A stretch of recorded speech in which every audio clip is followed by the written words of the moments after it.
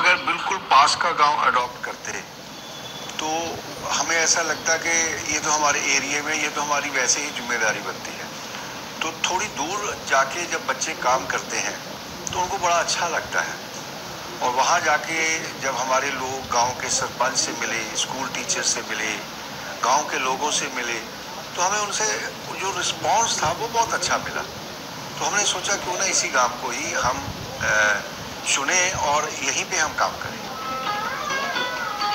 स्कूली बच्चों के बीच स्वच्छता के प्रति जागरूकता लाने और उन्हें साफ़ सफ़ाई पर विशेष ध्यान देने के लिए नुक्कड़ नाटकों का सहारा लेते हैं ताकि ये बच्चे सफ़ाई की शुरुआत अपने घर से करें और फिर आसपास के लोगों को स्वच्छता का पाठ पढ़ाएँ। स्वच्छता एक आंदोलन है एक क्रांति है जो हमारे माननीय प्रधानमंत्री जी इस देश में लेकर आए। पहला, पहले भी स्वच्छ स्वच्छता का काम हुआ है, लेकिन आज जिस तरीके से क्रांति के रूप में, एक आंदोलन के रूप में इसे देश में लाया गया है, हर युवा इससे अपने आप को अपने आप को जिस, जोड़ा गया है, जिस तरीके से, इससे एक बहुत बड़ा बदलाव पिछले सात सालों में हुआ है। इतना ही नहीं, इस कॉलेज के बच्चों ने स्वच्छता अभियान को कचरा प्रबंधन से भी जोड़ा है। डीएवी कॉलेज में आपने देखा होगा, प्राचार्य जी का था कि स्वच्छ रहना चाहिए और फिर प्रधान जी ने भी जो, प्रधानमंत्री जी ने भी जो अभियान चलाया, उसके तहत हमने ये सोचा कि जब हमारी सोच ही स्वच्छ होगी, जो हम चाहते हैं कि हमारा देश बहुत स्वच्छ हो तो उसके लिए मुझे लगा कि हम बच्चों का मन वचन, कर्म स्वच्छ करें। और मैंने इन बच्चों को ये सिखाने की कोशिश की इनसे प्रश्न किया कि बेटा आप सब नारियल पानी पीते हैं? बच्चों ने कहा "हाँ, पीते हैं। हमने कहा उसका खोखे को क्या करते हैं? हम सड़क पर फेंक देते हैं।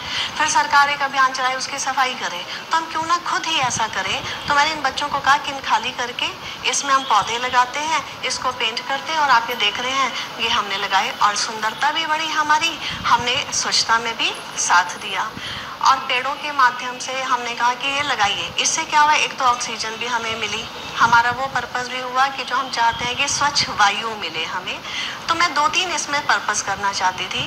पेप्सी आप देखते हो, बच्चे पीते हैं कोका कोला पीते हैं बॉटल्स इधर फेंक देते हैं। फिर इनको वही मोटिवेट किया हमने कि इन बॉटल्स को भी यूज़ करो। जो हम सोचते हैं प्लास्टिक को कैसे यूज़ करें। तो इसके अंदर भी इनसे मिट्टी भरवाई, पौधे लगवाए, इसमें करवाया, इनको भी हैंगिंग करवा दिया। भारत एक युवा देश है और हमारे प्रधानमंत्री जी की जो सोच है, वो बहुत लंबी सोच है कि युवाओं को तैयार किया जाए। अगर युवा तैयार हो गए अगर मेरे घर का बेटा मुझे कहेगा कि, पापा, आपने कचरा यहाँ नहीं फेंकना तो मैं उसको ज़रूर मानूँगा। अब जब सारे युवा स्कूलों में, कॉलेजेस में, गाँव में इस बात को मान गए हैं और उन्हें अच्छा लगने लग गया और उन्होंने अपने जीवन में उतार लिया है और वो इस चीज़ के लिए हर व्यक्ति की सपोर्ट करते हैं। आप नुक्कड़ नाटक करिए, आपको गाँव वाले बहुत सपोर्ट करते हैं। हम जहाँ भी गए, हमें सपोर्ट किया। तो ये युवा जो बच्चे हैं स्कूल के, कॉलेजेस के, इनके जीवन में उतर जाएगा। ये इनके लिए फिर एक अभियान नहीं रहेगा, एक ज़िंदगी की ज़रूरत बन जाएगा।